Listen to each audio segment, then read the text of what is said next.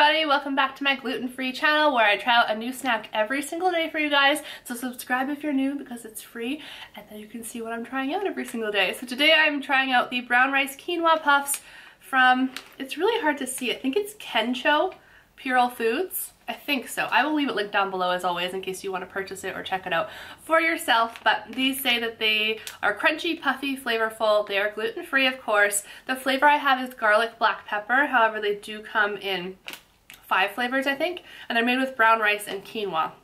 It also says made in Canada, so yay Canada, for 29 pieces. So this is a very low calorie snack, okay? 29 of these.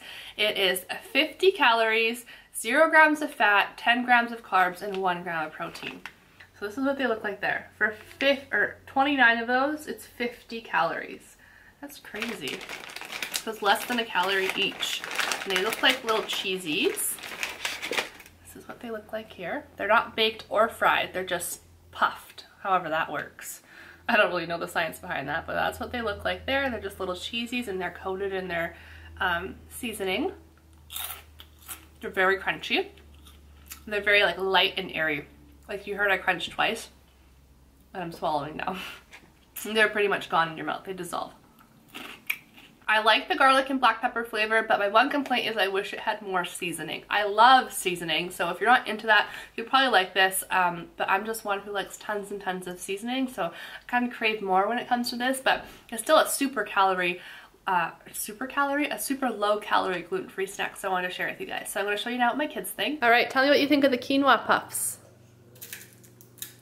Try it out, Riley. It doesn't have a lot of flavor. Nope. Just very little flavor. Yeah. Yeah. Do you like it? It just tastes like rice. Oh, okay. Yeah.